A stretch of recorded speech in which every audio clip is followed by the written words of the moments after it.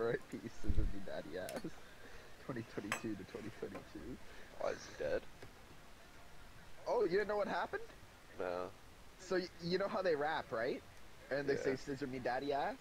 So they were about to rap, and then the Ass Boys took the mic from them right as they were about to start their beat.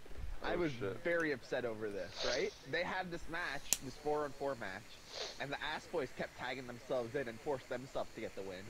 And then the Ass Boys attacked the Acclaim, and then Daddy Ass was there, and they're like, and they're like, people were unsure where his allegiances lied because he called the Acclaimed his real son, Oh. even though the Ass Boys were his real kids.